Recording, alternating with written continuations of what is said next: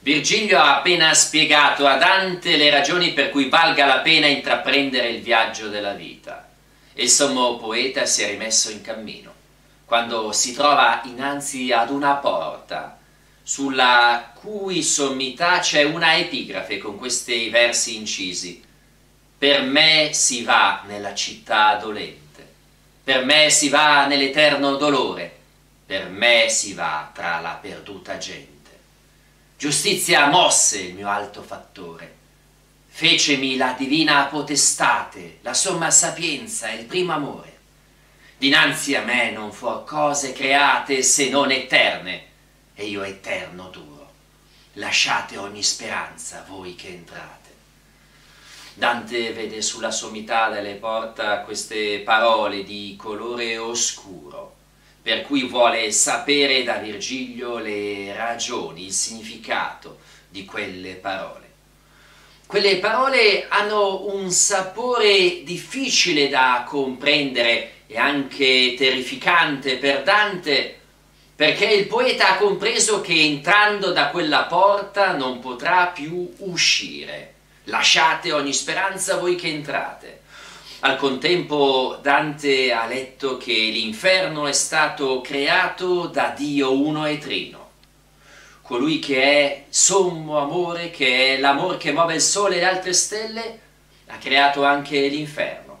L'inferno non è stato realizzato dal diavolo, perché il diavolo, come dice l'etimo del termine, è capace soltanto di dividere e di distruggere.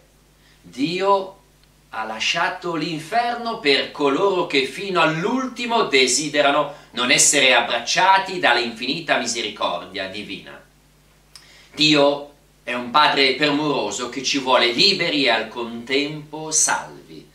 Libertà e salvezza sono due prerogative fondamentali per l'essere umano. E Dante capirà, comprenderà la misericordia di Dio nel terzo canto del Purgatorio, esattamente dopo una cantica, quando si renderà conto che la misericordia di Dio ha delle braccia così ampie, così grandi, che volentieri abbraccia tutte quelle persone che si lasciano abbracciare da lei. Dante è preso dalla paura dinanzi a quella epigrafe e ancora non vorrebbe partire non sono sufficienti dei discorsi, non basta una predica per mettere in azione l'uomo. Non sono sufficienti neanche le ragioni per cui conviene intraprendere il viaggio della vita. La pedagogia di Dante è geniale. Occorre una presenza umana, occorre un maestro, una guida, qualcuno che ti prenda per mano con lieto volto e che ti metta dentro alle segrete cose. Sono dei versi bellissimi che ben descrivono con efficacia espressiva quella che è l'educazione per Dante. Avviene l'educazione quando una persona viene introdotta alla realtà con una presenza lieta e piena di speranza, che ti fa capire che esiste un percorso, c'è un senso, c'è un cammino.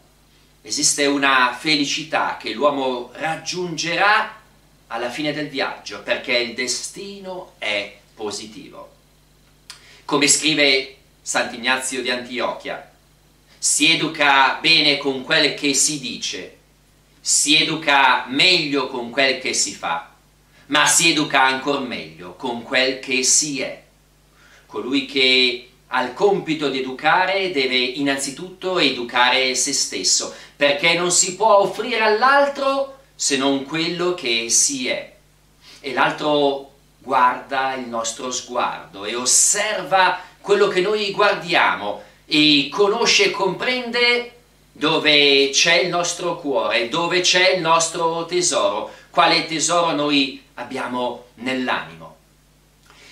E come scrive anche Sant'Ambrogio nei sette dialoghi con Ambrogio. Non pretendete, scrive Sant'Ambrogio riguardo all'educazione dei figli, di disegnare il loro futuro. Siate fieri piuttosto che vadano incontro al domani con slancio, anche quando sembrerà che si dimentichino di voi. Sant'Ambrogio sottolinea l'importanza di questo entusiasmo e al contempo mette in luce come i ragazzi, i giovani non si devono spaventare della fatica che possono trovare lungo il cammino. Loro devono percorrere la strada senza paura, senza spavento, anche quando questa strada fa qualche volta soffrire, perché è insopportabile una vita vissuta per niente. Più di mille raccomandazioni soffocanti saranno aiutati dai gesti che videro in casa, affetti semplici.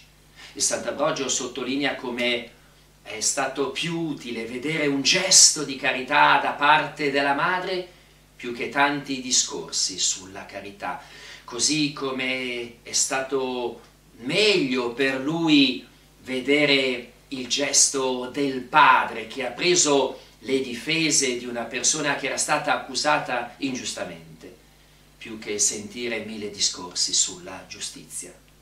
Conclude Sant'Ambrogio con queste parole, i vostri figli abitino la vostra casa con quel sano trovarsi bene che ti mette a tuo agio e ti incoraggia anche ad uscire di casa, perché ti mette dentro la fiducia in Dio e il gusto di vivere bene.